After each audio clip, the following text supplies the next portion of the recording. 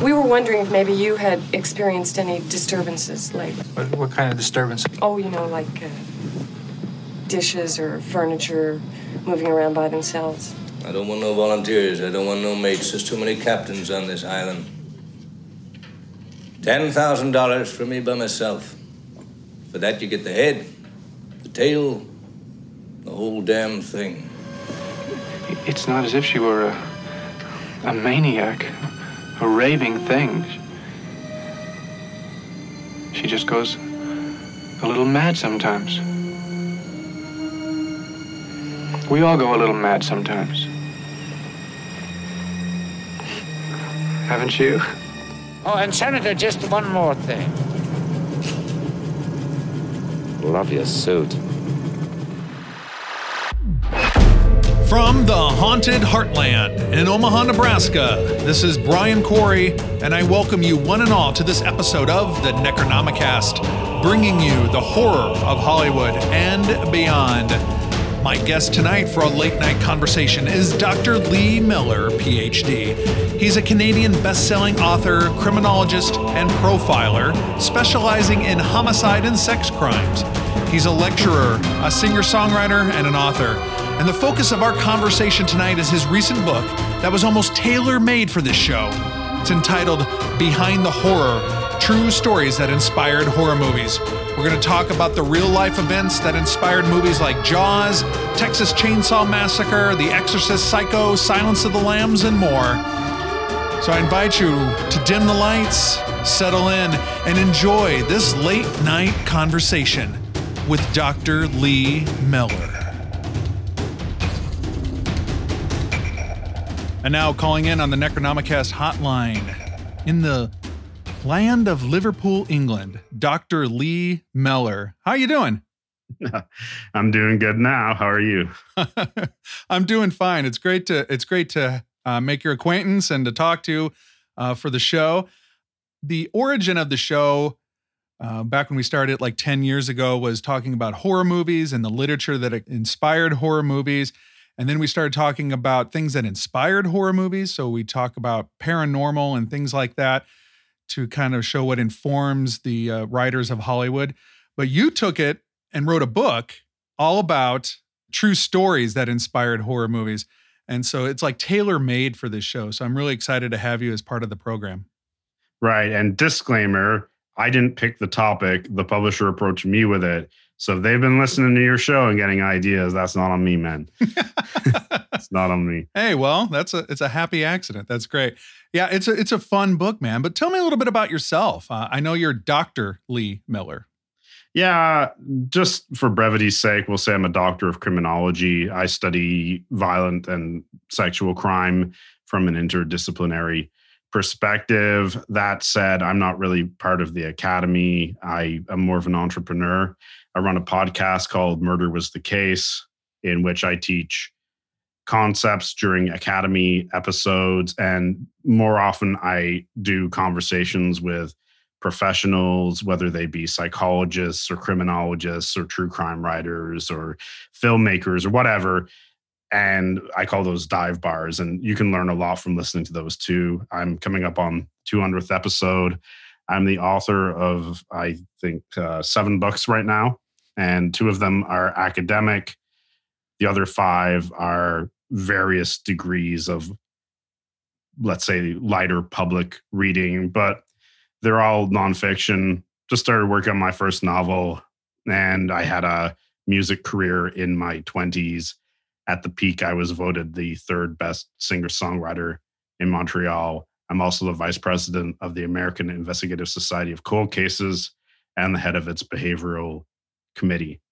I think that's it. so, Fantastic. I don't have much money, by the way. Just sell the sell out. Just don't be like me. right. That's right. We don't need integrity. We just need money, right? Yeah, yeah, you bet. yeah, well, we're making tons of money over here. We're printing money over here at the Necronomicast. So that's awesome. Mm. Uh, I'm always looking for interesting people to talk to and, and in, interesting topics to explore. And just through one of my internet searches, I came upon your book, Behind the Horror True Stories That Inspired Horror Movies. And there's a copy of it right there. I've got mine right here glowing electronically. Fascinating book, man. I was reading through all these cases uh, that you document in here, many of them, and many of the movies I haven't heard of before, or I've heard of them and I hadn't watched them before. So, how did you sit down? I know you said the publisher approached you to to put this together, but where did you begin like watching these movies and starting to take notes and, and start to write this book? How did that come about? Well, I've always been into horror movies, thriller movies. My Netflix profile has me down as dark, slow burn psychological. And I think I've been like that my whole life, both in my entertainment choices and my identity, my own psychology, the things I'm interested in. And so they approached me with the idea. I guess they rightly picked, hey, this guy's probably going to be good for this. And they said, How would you like to write this book behind the horror about the true stories that inspired horror movies? And I was like, Absolutely, I will do that. And they sent me a list with some ideas. And some of the films, I couldn't tell you which ones, but some of the films that made it into the book were on that list.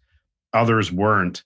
So what I did was I kind of mentally sorted it by criteria. Knowing me, I made a list with little check boxes. And I would have put cinematic history importance plus how interesting is the story behind it plus how much do I personally like it? Those three things. And then I would have tabulated them. And that's how I got the list of films that are in there. So I'm actually interested to know which films that you hadn't seen that were in there because I thought they were all reasonably mainstream. Oh yeah, they are. And I, you know, it's just kind of my ignorance or my, you know, it's my fault that I haven't seen a lot of these movies or some of these movies. Like uh, M, a city that searches for a murderer. Yeah, you can watch that on YouTube for free. Yeah, yeah, I saw I saw that, and so the next night that I have uh, some some time, I'm definitely going to check that out because it has Peter Lorre, and I'm a big Peter Lorre fan. Yeah, so it was directed by Fritz Lang, who is one of the great German expressionist filmmakers, and this was before Peter Lorre fled Germany. I mean, this is just on the cusp of the Nazis getting into power, mm-hmm. and during the Weimar Republic, which was the republic that existed between the uh, post Czar Germany following the First World War and the rise to power of the Nazis in 1933. You had this Weimar Republic, and there was all these serial murderers in there for some reason. Now, maybe we just didn't hear about as many under the Nazis, or maybe during the First World War we were distracted. But I wouldn't be surprised if some of the social conditions enabled it in some way or, or gave rise to it. It's one of those chicken or egg questions. So yeah, in, in the in the book, I essentially write about the serial killers of Weimar Germany that inspired the conglomerate character of Hans, who is a serial child murderer in M. With that history, I didn't hear, I didn't know about a lot of these serial killers and like like like Carl Grossman and and mm. uh some of these. I mean, even the term serial murder was first coined in German, but I mean, it was first coined and put together by by an investigator in in Germany at the time. Yeah, Ernst Gennat. He was the director of the Berlin police force. I think it was 1931. He put it together. It was the very early 30s because it was definitely in use for the time of the film, and Ernst Gennat had looked at the Peter Kürten case, the vampire of Dusseldorf, which is the one I explain in the most detail in the book. But also before that, in Hanover, there was the case of Fritz Haarmann. And so then, yes, Grossman obviously would have been fresh in the memories from earlier on in Berlin, where Gennat was the director of police later. So he became aware of something in the zeitgeist that mm-hmm. was going on and he gave it a name. I know you you, you wrote about all these these guys in in context of this film but carl grossman i think was the one that i was it really turned my stomach probably the most. I mean you go into really good detail and, and not in like a gratuitous way but i mean you explain why these guys are just heinous serial killers and you explain the crimes. Um, so but carl grossman the butcher of berlin to be getting off a train and have this guy selling sausages and then like, oh, these are particularly meaty. They're pretty delicious. I can't believe that story and just thinking about how these people when they picked up their picked up their newspapers and the news of the day and they're reading and they they like they're horrified that they traded a Deutschmark or, or the currency of the time for this sandwich that was laden with um, extra extra ingredients, so to speak. Yeah, there was a turning point in Grossman's business because obviously there were famines and such. This is during the Depression, which particularly hit Weimar Germany badly. They had massive inflation. Then these are the conditions which ultimately one could argue gave rise to the Nazis coming to power in some way. But you, there's a lot of poverty, and you know, having like a meaty sausage was kind of a, a delicacy. So before that, he had these sort of like little withered things made of turnips and fillers with maybe a dot or two of meat in there so you could justify it to yourself. And then one day they suddenly plump and juicy, like, oh, where does this meat come from? And can't believe I'm getting them at this cost. And people are in such a rush to get on and off these trains. What happened was Grossman, he would look for people coming in from what would be called the provinces, so the countryside. And they thought, there's no work out here. Let's go to Berlin. Well, unfortunately, they didn't hear that there's no work in Berlin either. The whole country was screwed. And he knew that they would be coming into the city looking for opportunities, totally green, totally naive. And he would find these young women and approach them and say something like, You look lost. Do you need help? And, oh, I just came in from the countryside and I'm hoping to find job as a maid or serving girl, something like that. And you go, oh my God, the coincidence. I, I was just on my way to the employment agency to find someone like that. Well, this must be fortune. How would you like to start at this? Come with me. I'll take you my place.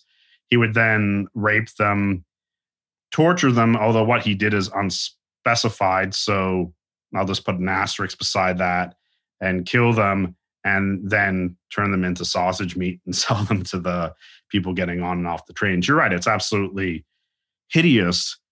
The weird thing is, it's by no means rare, although those other cases don't feature in the book. But it will have happened in your country too, probably at some point.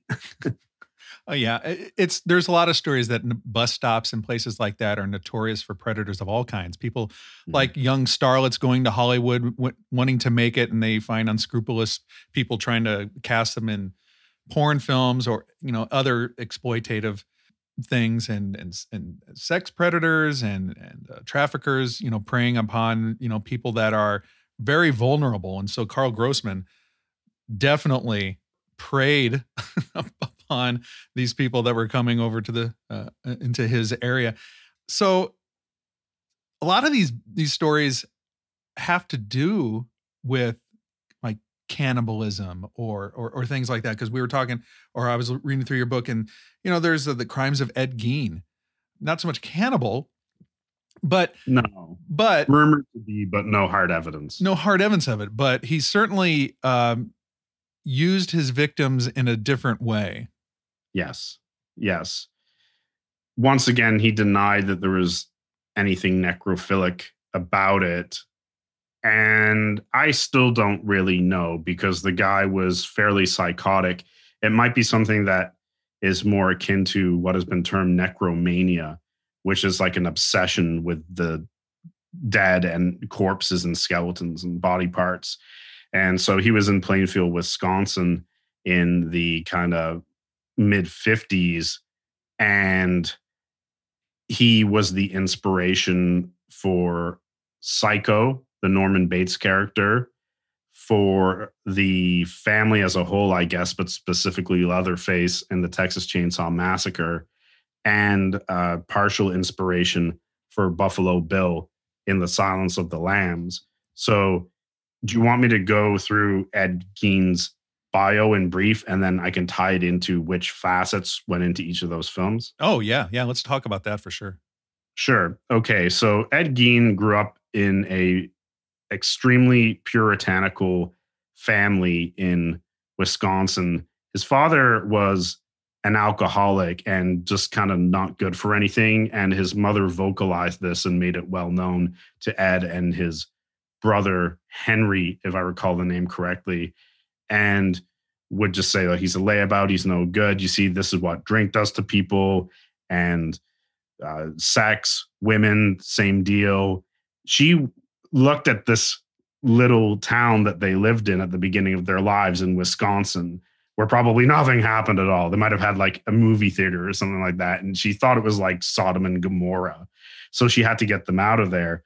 So at one point, they move out to this farmhouse in the countryside, and it's on the outskirts of Plainfield, Wisconsin, where there's really, really nothing happening at all. Ed goes to school. He doesn't fit in. He is particularly uncomfortable around girls because his mother drills these erotophobic um, sort of ideas into him. He himself is kind of unusually effeminate, and his father dies of I think it was alcoholism. And then for a brief period of time, it's him, his brother Henry, and his mother. Henry starts to say, you know, I don't know about mom. You know, I kind of don't want to live on this farm forever and just live under her thumb. Like, I'd like to get married and have a family. And it's around this time that Ed and Henry go out to fight a fire on the property, and Henry dies of smoke inhalation. Uh, okay, so Ed is the only one with him. Ed is the only one that's privy to this whispers of rebellion against the great matriarch. And when the police show up, the observations they make there there are some suspicious characteristics, but not quite enough to say it looks like Ed killed Henry. So now it's just Ed and Mother. I believe they're together for no longer than a year, and then Mother dies, and Ed is left with this giant farmhouse out in the middle of nowhere. He has no friends. He has no ability to really socialize with people. He obviously desires women in some way, but has been brainwashed from such a young age about the evils of them that psychologically he just can't navigate those waters. So even though he's not a psychopath, he has a lot of psychological problems and he has no support system and he's left in this house and women in their 50s who resemble his mother, hmm. 50s, 60s, start to go missing. It's it's not like boom, boom, boom, boom, boom, boom, boom, a bunch. It's like in 1954, Bernice Worden goes, sorry, Mary Hogan goes missing from her tavern. And then the second time, Bernice Worden, who runs a local hardware store, this is years later, she is found to be missing. And her son who is something like a sheriff's deputy goes to investigate along with some other men. And they find blood on the floor signs that she's been dragged out the door and that a, a rifle that she had loaded and sort of mounted over i guess the counter of her uh, hardware store had been used and set down on the counter and so they're like well look someone's either wounded her or killed her and the body's gone. And her son remembers the local weirdo, Ed Gein, the day before, who had been coming on to his mother. Like when I say coming on, I mean like, would you like to go roller skating or something like that? You know, asking right. a, a woman in her late 50s this in the 50s. It's utterly, it's just bizarre. But he noted that it was bizarre and Ed had been like, "Hey, when are you going on your next hunting trip?" Which is where the deputy and her son had been that day, and he realizes, "Oh, it's probably Ed Gein." So, to make a long story short, they eventually arrest Gein and converge on his house. Two guys are going in there at night. It's in the middle of winter, so the snow is all on the ground, very quiet. And they enter through what's called the summer kitchen, so like a back, uh, a back area with a door and as they're moving through the darkness, they bump into something and they look up, and there is Bernice Worden, and she's been gutted exactly like a deer, dressed out in that way, and she's hanging from the rafters. And they have a freak out moment. They run outside. One of them's barfing into the snow while the other one calls for backup. And then all these officers from various jurisdictions that i mean they don't have enough people in the local police force to handle this so there's all people pouring in from the surrounding areas they go into ed's house and they find something like you would see on the texas chainsaw massacre he's got skeletal parts uh, body parts that have been preserved in various ways if these are all attributable to murder this guy will have killed something you know, like 20 women minimum. And so they don't know what they're dealing with. They're just tagging and bagging it. They're just processing it. During this time, they find the missing tavern keeper, Mary Hogan's head in a sack or something like that. Can't remember exactly, but he's made a suit out of ladies' body parts. So he called it a, a woman's suit. It was like a essentially the skin had all been preserved and the, you know there was breasts and he had a mask with hair coming out it would have been hideous and he would later confess that he would go frolicking in the moonlight dressed in that which itself is to me much scarier than anything i've seen in those movies just that notion but to tie it all in obviously you have the mother tells me about the sinfulness of women. She's long past. No, sorry. Um, mother tells me about the sinfulness of women. I live in a big old house by myself. I am kind of psychotic. That's the Norman Bates aspect from Psycho. Right. And then the Texas Chainsaw Massacre aspect is once again, you've got this big old bucolic house run down, but it's filled with body parts. And the villain in it wears a dead skin mask and they they are cannibals. And it was rumored that ed gein was a cannibal once again not proven. And then finally with buffalo bill in silence of the lambs his whole signature is that he skins the women that he abducts after shooting them in the head or killing them otherwise. And he's always picking on larger women because he wants to make a suit of female skin uh, uh, flesh so he can transform into a woman hence the moth motif because he was denied a sex reassignment surgery. And so just that one case ed gein that i detail quite a bit in behind the horror inspired texas chainsaw massacre psycho and a large portion of buffalo bill's psychopathology in The Silence of the Lambs. However, in The Silence of the Lambs chapter, I get into a ton more serial killers because there's more to Buffalo Bill than just him. And of course, there's also Hannibal Lecter. He's a play too. Listeners, we're talking here and we'll be speaking, I mean, for like 45 minutes an hour.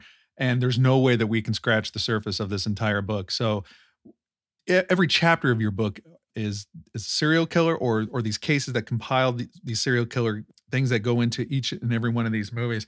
I, there's there without getting political too much. Do you have any thoughts about there seems to be a lot of the cancel culture that doesn't want these kind of movies like uh how do I say it? The Ed Gein making the woman suit, Silence of the Lambs, the guy making a woman suit. Obviously, uh, we need to have inclusivity in our civilization, in our society. Uh, do you have any thoughts about like them trying to not have these movies be available to the public? Yeah, I think they're authoritarian dickheads. Fuck you, stop me. That's my political statement. really, how do you really feel? I know I get you, man. I get you. I, I there, there's there's certainly a uh, uh, you know you want to be sensitive to people and their and their real lives, but we're talking about uh, we're talking about Hollywood and make believe and movies and characters and escapism and things like that. So there, one doesn't have anything to do with the other. So it, it goes both ways, mm-hmm. right? Mm-hmm. I'm not forcing you to watch the film. Yeah, I would never. Okay, right. That's why we have warnings about what the film content includes. Nobody is making you see it. Okay, you're the one who's telling people how they can and can't live their lives. If people want to live as transsexual, transgendered, however you want to phrase it. If people want to live whatever lifestyle as long as they're not violating other people's consent. That was the noble path. That's what we figured out. And it was working pretty good in, say, like the 2000s. And we saw great advancements in rights for, for um, gay people, Mhm. right? And it was agreed upon that this is the path forward live and let live. I still abide by that. I'm not on a tribe. Uh, I'm for a set of principles. The minute you start telling other people what they can't do, if it's not directly hurting someone, that you're my enemy. It's just that simple.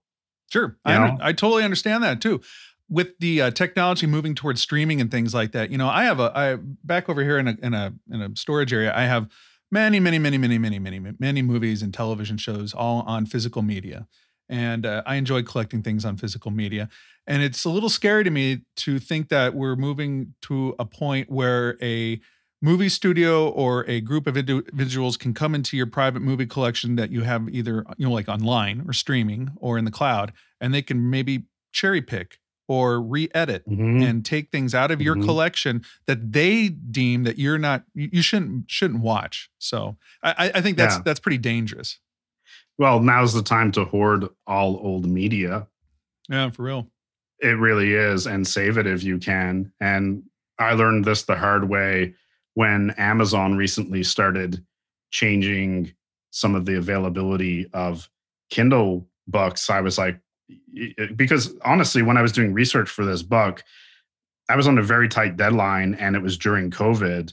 And you know how the mail service slowed down with COVID. I was like, I can't wait for the hard copies of some of these secondary sources to arrive. So I'm going to buy them on my Kindle. And then I realized, wait a second, what do you mean I'm renting these? Like these don't belong to me. Amazon can just revoke this and explain why I paid $20 for it. and they don't want to uh, they're not going to rebate or give you your refund back Exactly. So I'm never buying an ebook again. so uh, if you're going to get a behind the horror, please get a hard copy of it. Yeah. I mean, there used to be a wisdom about people who ban books, which seems to have been lost. This sort of stuff, Brian, you didn't want to get political. And so I'll just kind of end it here. Scares me far more than anything I'm telling you that's happened in this book here.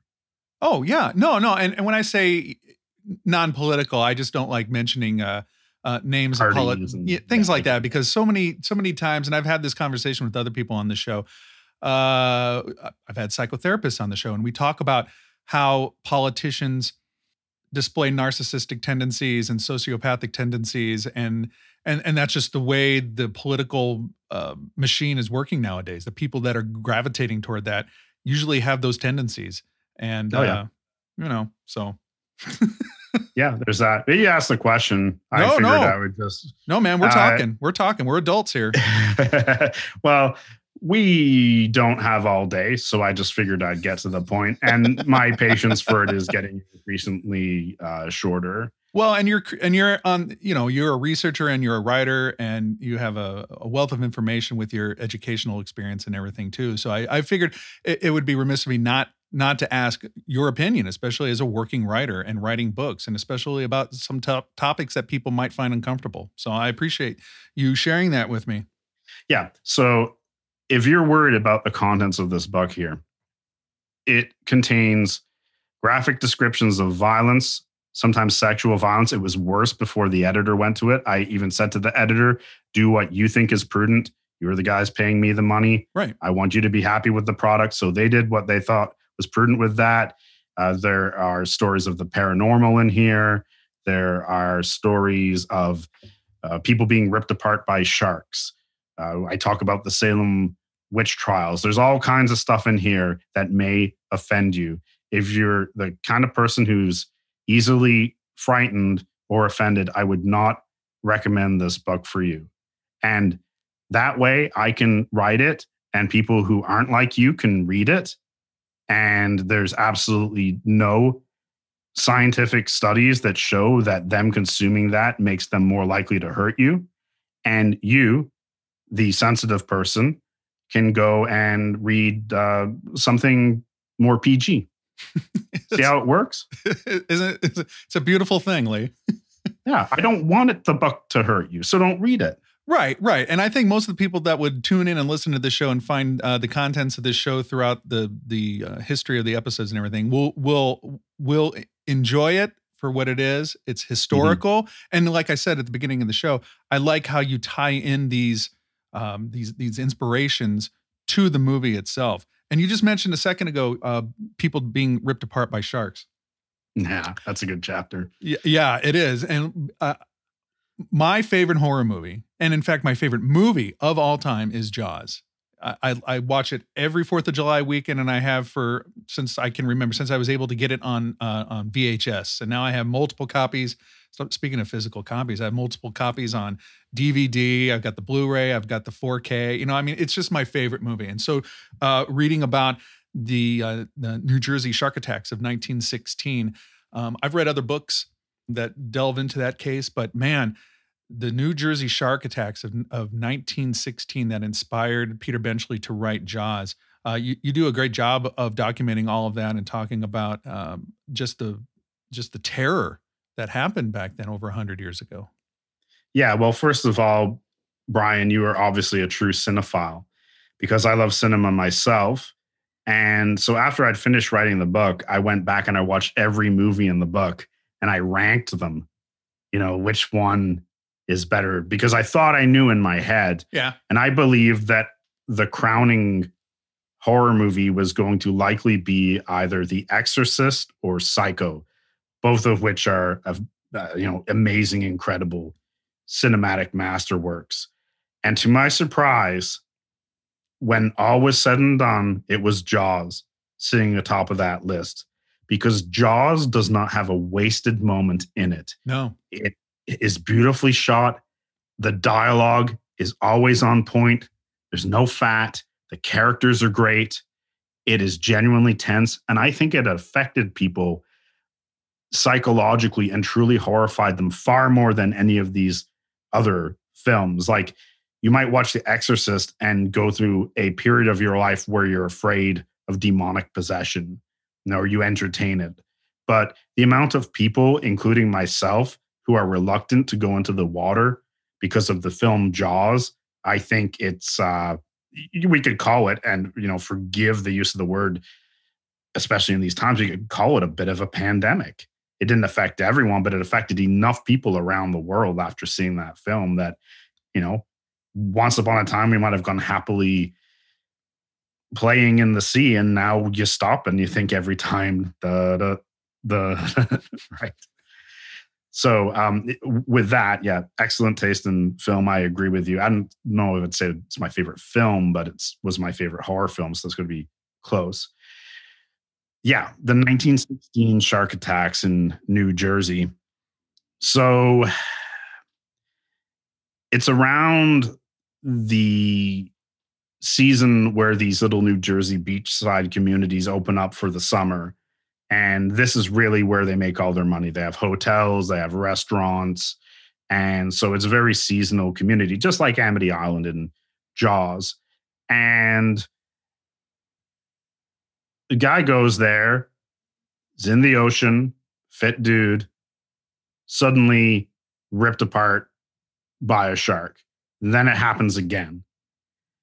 And so they're like, well, you know, we can't close this. So they start putting up these shark nets, trying to watch and out and monitor. And this sort of sets the tone for Jaws. But in real life, what happens is there's a creek called Matawan Creek.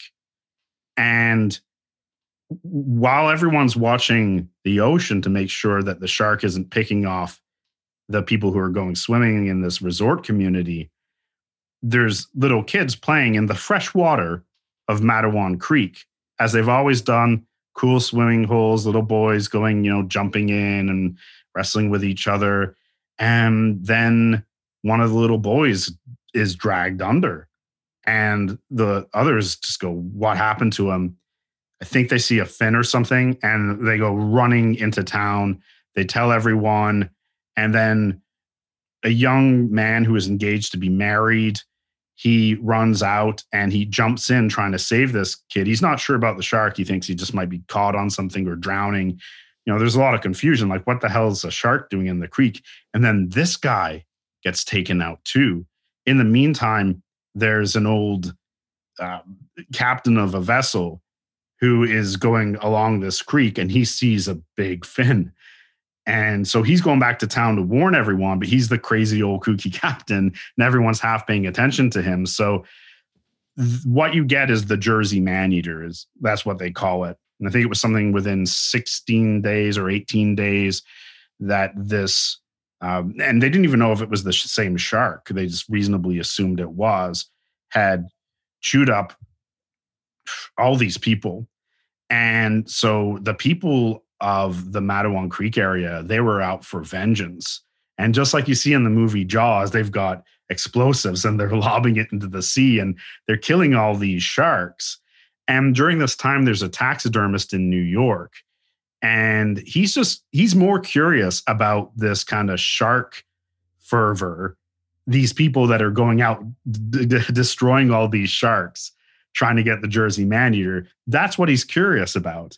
And so he goes out with someone who owns a, a vessel, can't remember their profession, to go and watch these guys. Mhm. And while they're out, they decide to do a little fishing. While they're fishing, they hook this huge shark. And it's like Jaws, you know, the boat is straining against it. And he manages to pull some clever moves and he ensnares it. And this taxidermist beats it to death with an oar, which, man, unless there's something I don't know about sharks, this guy must be very strong to to beat a shark to death with an oar. But they bring it in and they empty the stomach contents, and generally, it's believed that this is the Jersey man eater, and he's consumed all of these people. But it's not uh, consensus to this day. You know, there's people that take either side of it, but those shark attacks stop at this point. And that there is, I obviously get into a lot more detail and specifics in the book, but that's just one of three sections that I use for the Jaws chapter. I also talk about how the character of Quint was based on a shark hunter called Frank Mundus, who operated on Long Island and who he was and his adventures and the things about Quint that were inspired by Frank Mundus. And I also talk about the USS Indianapolis, which was sunk by a Japanese torpedo in the latter days of the Second World War in the Pacific, and how the crew were just left stranded in the Pacific Ocean, exposed to the elements, and just how terrible that was. But then you threw in the sharks at the same time. And that's something that, that Quint talks about in one of the most unforgettable scenes in the Jaws film when they're comparing tattoos. Yeah. I'm sure you know, you're familiar with that one. Oh yeah, when Robert Shaw gives that that performance of that, it it, it makes the movie right there because you are totally drawn in. There's no music, you know, it's just him, the tight shot, well lit, super scary. Um, yeah, the, the you know, setting the scene back in 1916, that you know, the, the scientists at the time really doubted at the time that it was some sharks can't do that. Sharks aren't powerful enough to do that. You know, the ichthyologists at the time weren't convinced that it was it, it, was a shark that that injured these bathers. you know, you know what I Mhm. mean? And then, like you said, it, you know, the shark found its way down this creek, and these boys were swimming, and Lester Stillwell was attacked, and and his body uh, drugged down to the bottom of the creek. And these boys were so scared that they, you know, they were skinny dipping because you know it was 1916. Yeah. They they're they're running through town naked, trying to get anybody to listen to him, anybody to help. And like you said, the kind of the crazy guy that saw the fin, and then and then the gentleman that jumps into the water trying to locate the body, and then he now gets that you attacked. mention it, there, there was a, uh, another boy that was killed yes, during that time. No, he was seriously injured. right. Yeah, and he was just at another part of the creek playing with his brother, and Yeah. it got him too. That's why I kind of lost count when I more recently had the book in memory. I could have, you know, told you exactly how many, but there are so many that the shark kills. It's it's like which ones survived and which ones died. It yeah, it's an incredible story. And you're right, they were just in doubt about it, and that it gets expressed in the movie Jaws somewhat uh, when he says, "If you yell barracuda, everyone goes, huh? What? Like, what's the big deal? If you yell shark, you have a panic on your hands on the 4th of July. That's the mayor's saying in the movie. Mm-hmm. But in a way, there is that thought that, you know, it could be something like a barracuda. There are other things in the water that could do this. And um, even though the popular conception is shark is the worst, there's plenty of things in the deep that can harm you.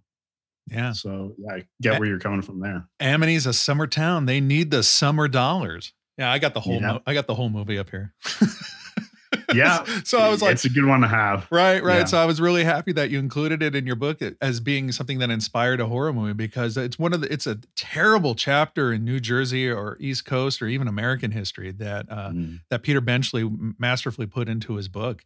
So uh, you you got some um, there's there's tons of murder stories in your book and and those are great too. But I, I'm glad that you touched on to some of the paranormal stories like uh, with these kind of these newer movies like The Conjuring and and things Yeah. like that. So you you wrote ab- about some of these poltergeist stories that inspired these Conjuring movies and whatnot.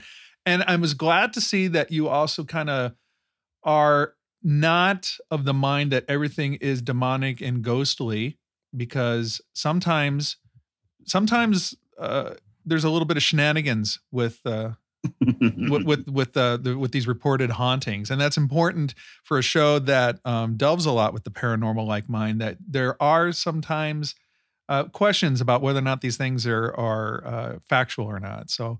Uh, like you write about the Enfield poltergeist and and and the um, Seaford poltergeist that inspired the Conjuring movies, and also Poltergeist, another Poltergeist, another great Spielberg film. Well, Tobe Hooper, Yeah. but Spielberg. Yeah, it was billed as Tobe Hooper, but from what I've heard, is Steven Spielberg really did it. Right. Um, Tobe Hooper, of course, was the director of the Texas Chainsaw Massacre. Not taking anything away from him, Nope. filmmaker. No, but Spielberg's all over that flick, man. yeah. Yeah. It definitely has more kind of that over the top magical Spielberg feel than the more subtle uh, rawness of a Hooper flick. So, yeah, I mean, there was a lot of paranormal stuff I put in there. I believe the first paranormal story, we could call it this, it's really demonic possession. It's The Exorcist. And so I looked at the case of Roland Doe, Mm. and that's a pseudonym. We would never know this boy's name, but he was determined to be possessed by the Catholic Church. I think he lived in Connecticut or somewhere around there, if I remember correctly, at the time, and uh, was eventually taken to like a Jesuit, Jesuit hospital in Missouri. And they spent all this time doing these exorcism rituals on him. And there's a book written about that, but like, so it definitely happened. There's files on it, but there was definitely a code of silence over it. The, the Catholic Church is not open about when it does choose to perform an exorcism. It rarely does opt to have that option. And so, for that reason, I think people are inclined to believe in it. It's like, well, they seem to be thinking really critically about this. People underestimate seemingly the ability of a motivated, clever child to fool experts, be they religious, um, scientific, in the police. They can do it. And you see that with the Herrmann family case in uh, Long Island, which inspired Poltergeist. They had all these police and parapsychologists coming and going and witnessing things going flying across rooms and lids on bottles popping off and there's no explanation for this. And with the Enfield haunting in London which was the conjuring 2 same deal. You've got police coming in you've got parapsychologists trying to figure out what's going on here. Uh, this little girl seems to be possessed. There's levitation photos there's things moving around.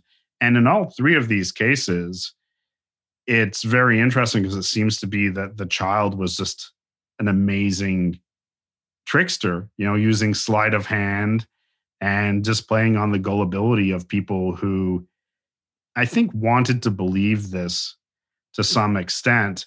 And there is this one character that ties both the Herrmann case, which inspired Poltergeist, and the Enfield haunting of The Conjuring 2 together. And his name was Milbourne Christopher.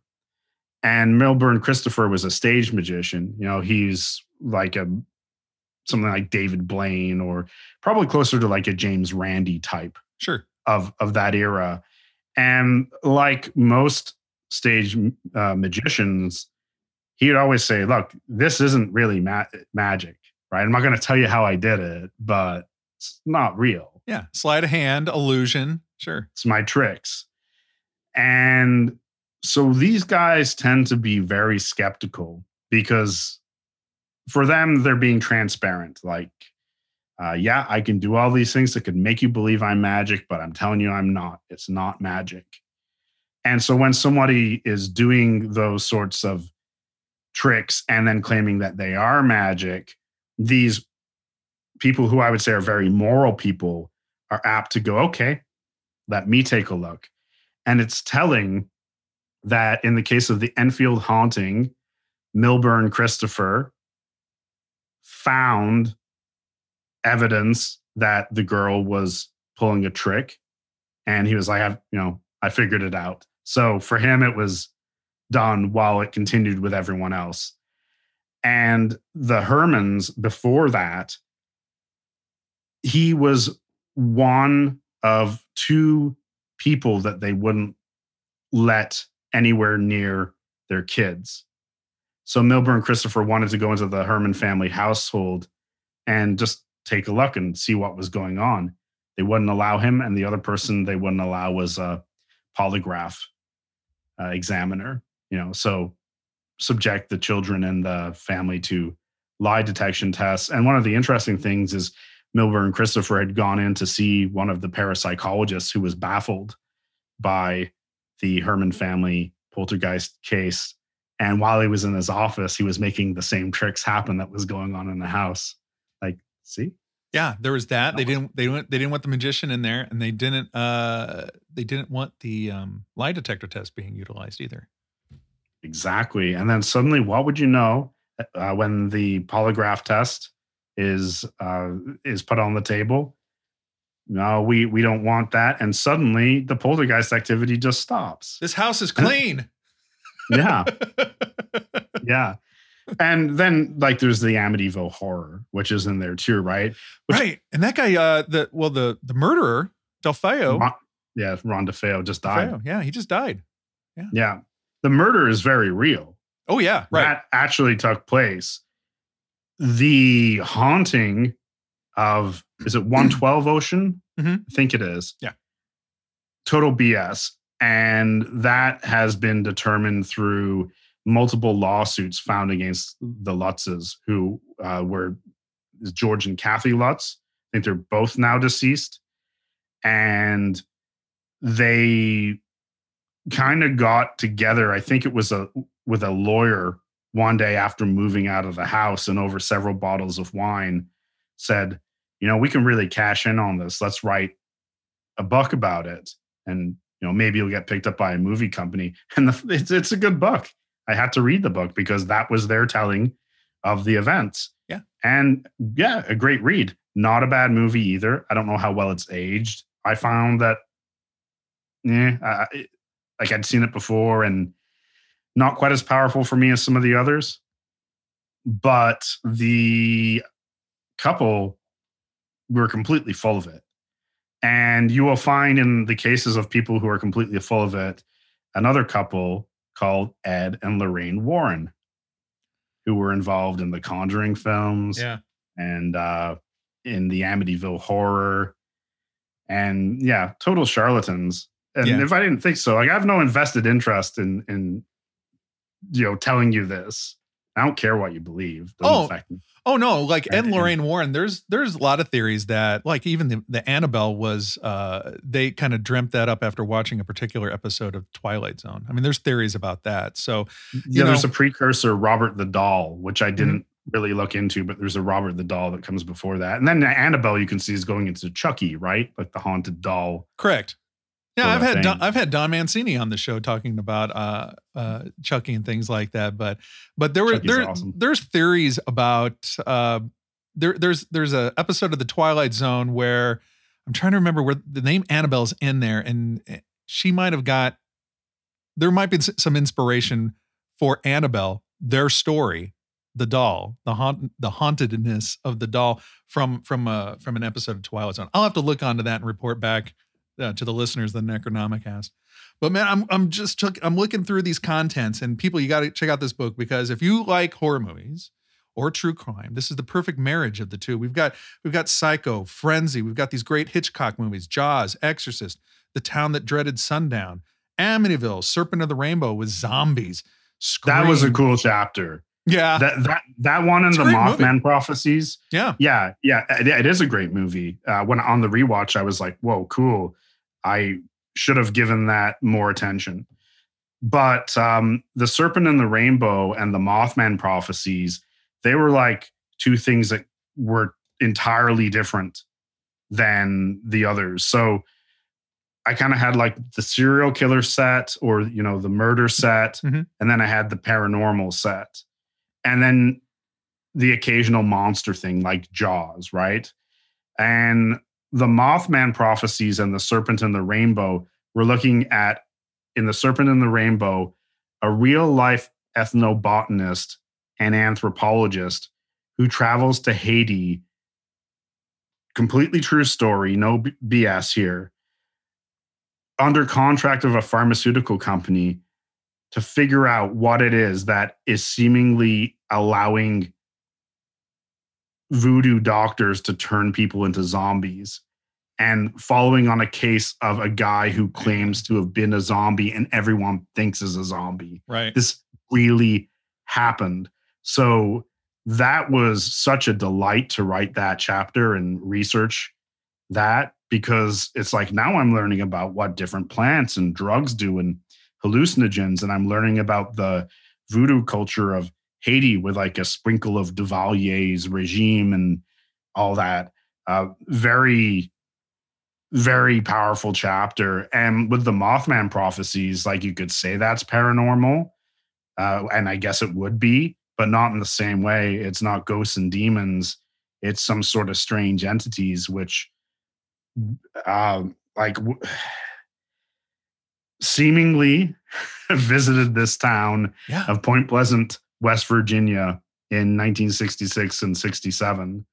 And I didn't even have room to get into the men in black that came in to ask questions about it after. I didn't have room in the book to cover that part, um, which wasn't in the Mothman Prophecies film either. Right.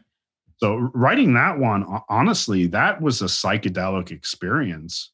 Writing that one, I'm typing it all out, and the Mothman and the red eyes and the bridge collapsing and Indrid Cold, you know, standing there grinning in the headlights, and I will come and visit you at your house telekinetically, and then researching the Men in Black and just going.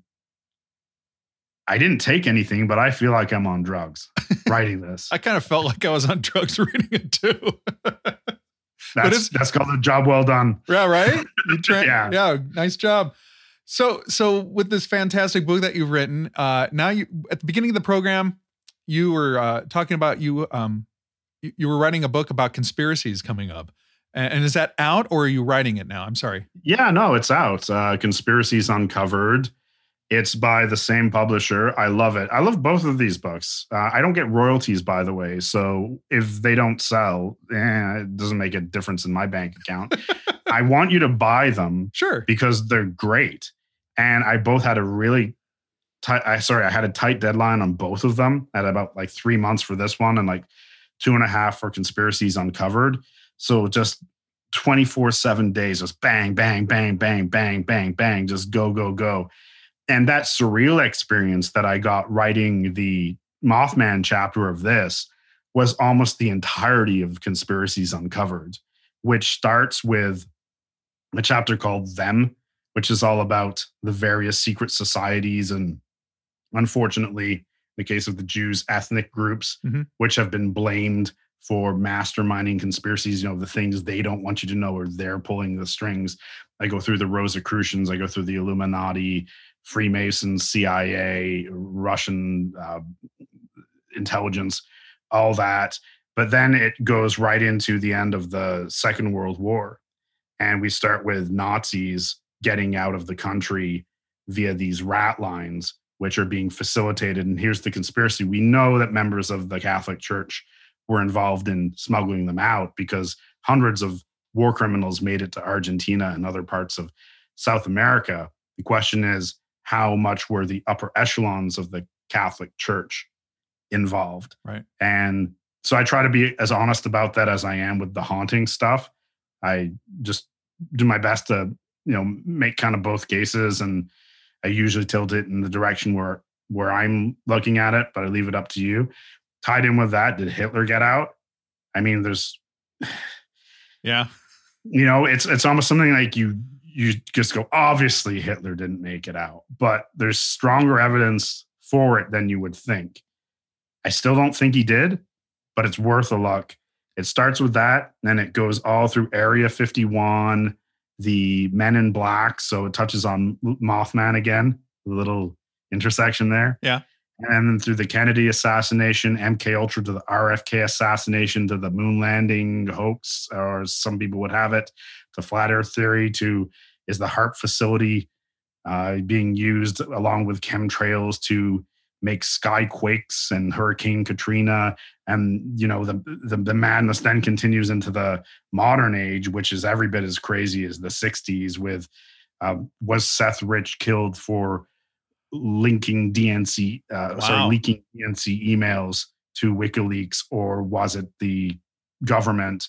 And then they took out my Pizzagate chapter at the last minute, which was interesting. I'll just leave it at that. But you can listen to the Pizzagate chapter on my show, Murder Was the Case, episode 192. Nice. So, if, yeah, I just read out what I had written.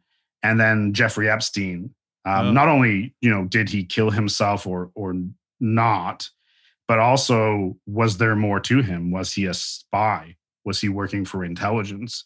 And then ending on COVID 19. Wow. So I didn't I didn't know it was that modern or that that current. So let's let's get on that one sometime. Yeah, let's do that.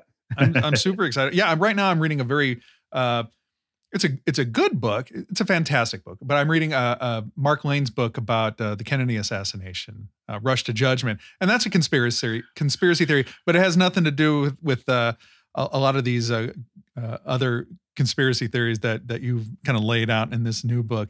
And and if people want to get your book, I'm sure they can get it at any place that they usually get books. But what is your website in case people want to uh, start exploring you specifically? Yeah, leemellor.com. So L E E M E L L O R.com. I guess I should update it.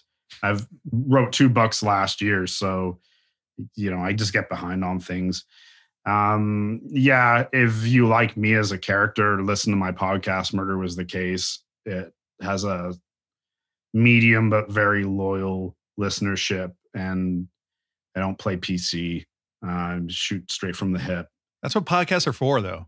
I think you know. And if you want something scrubbed down and sparkly clean, then you know there's places you can get that. But if you want to get directly in touch with uh, with people as they construct ideas, I think that's what's great about podcasts, or what, what has the great potential for podcasts. You know, you can uh, you can specific, specify what kind of things you want to listen to, and really what kind of hosts or shows uh, you know tickle your fancy.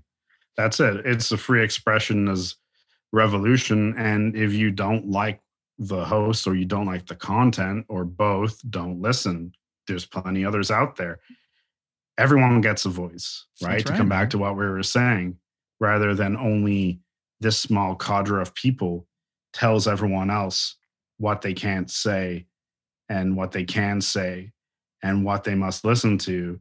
You can be on that side, or you can be on the side of everyone gets a voice and everyone gets a choice to which voices they listen to. I firmly in the latter camp. I as well. Lee, having you on the program has been has been a treat, man, and I, I really appreciate the way that you've uh, that you express yourself. I appreciate uh, you know the the information that you put out. I've listened to some of your tunes too, man.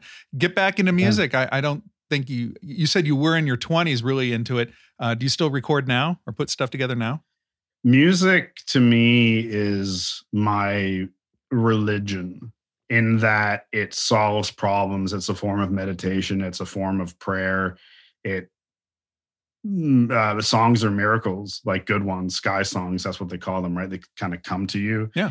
And the way that music and the music industry work, it was like I was debasing my spirituality uh, by combining those two things. Mm. And so, in order to save my quote unquote faith, you know, the closest thing I have to it, mm-hmm. I walked away from doing it professionally, trying to make it, all these ego driven ideas around it because I wanted to keep it. And we'll just end with a friend of the family recently passed away and he had a huge guitar collection and the widow doesn't want the guitars around because it just reminds her too much of him. Oh. and so i went and i took a look at them and there's everything. There's a telecaster there's a strat there's a, you know uh, epiphone les paul there's banjos there's 12 stringers. And i just thought you know maybe it would be good for both of us if i just kind of bit the bullet and wrote a big check and then just get back into it. Yeah. So that's a very distinct possibility. Well, Lee, I've had a great time talking to you, and I want to thank you for being a, a part of the Necronomicast, and I want to thank you for being a friend of the program and uh, great work with everything that you've done, man. And, and, I really, really enjoyed speaking to you this evening. And I know it was a little goofy getting our uh, time zones all all, all figured yeah. out from uh, Liverpool. Yeah, to, switched yeah, from five hours to four hours. Then it's going to go back to five. Yeah. But we got it done, mm-hmm. man. Two educated men got it put together. Yeah. How did we work that out? We're supposed to be totally inept. Right. Yeah. I'm, I'm glad we did, man. Everybody, it's been my pleasure to have Dr. Lee Mellor on the program. I will have links to all the information that you need uh, to get in touch with uh, the great works that he's that he's uh, put out there in the public public arena. So, Lee, thanks so much for your time, my man. Yeah, great uh, meeting and talking with you, Brian, and we will do this again. There we are, kids. Episode number 199 is in the can. Dr. Lee Mellor. What a great guy. Super interesting to talk to. Way more educated than I am, but I think I did a good job. His book is fantastic. You know, when we put the show together originally years ago, it was all about horror movies and things that inspired him? Well, he wrote the book on it, so there you go. All right, kids, big show announcement. What's going on for episode 200? 10 years in the making. Episode 200 will come out in a couple weeks, and it'll be my conversation with Nick Groff. Nick Groff, you'll know him from Ghost Adventures back in the day, Ghosts of Shepherdstown, his new show, Deathwalker. It's coming out on Discovery Plus.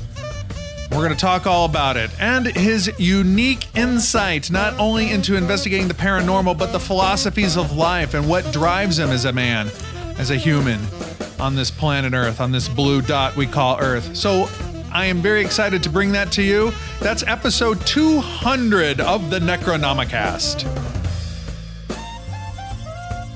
And as always, if you could please be so kind as to leave a review for the show over at iTunes, YouTube, become a member, a subscriber. I would be forever in love and in your debt to each and every one of you. So until then,